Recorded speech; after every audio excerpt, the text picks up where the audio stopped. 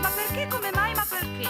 In cucina non ci entro mai, eh? Cosa c'è nella padella? Mmm, che profumino. Fa assaggiare un pezzettino, ma che bontà, ma che bontà. Salve, sono Paolo Sciolli. Oggi vi parlo della grandinina, un tipico piatto livornese fatto con poche cose, ma molto buono, molto gustoso, specialmente nei mesi invernali. La base, la base è la solita gruppo di verdure, carota, sedane e cipolla, ben tritate. Eccole qua, noi, io ve le ho già preparate in questo modo. Eh? Le mettete in un padellino e al fuoco con una punta di olio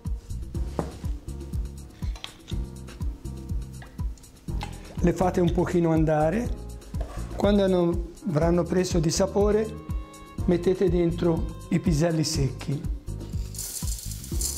questi piselli sono piselli brillati eh? verrà fuori una specie di farinata che voi questa poi la emulsionerete, la passerete al passatutto e otterrete una crema.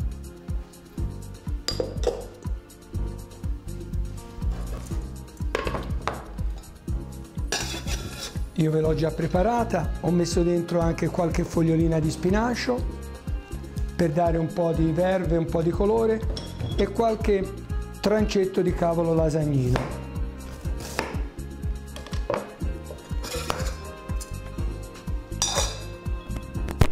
la emulsiono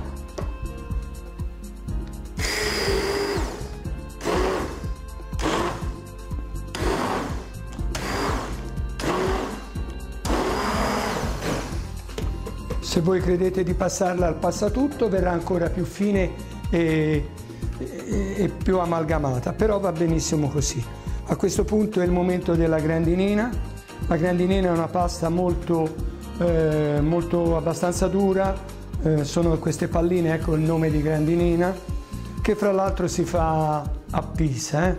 una ditta pisana che la produce, è molto buona, ha un tempo di cottura intorno ai 10 minuti. La mettiamo dentro e la portiamo in cottura.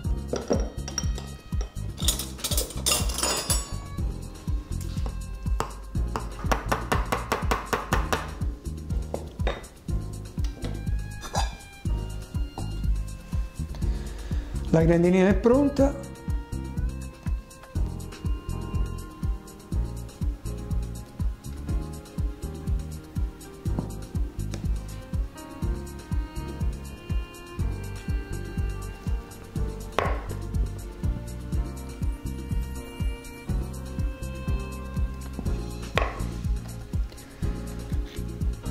Un bel giretto d'olio e buon appetito a tutti.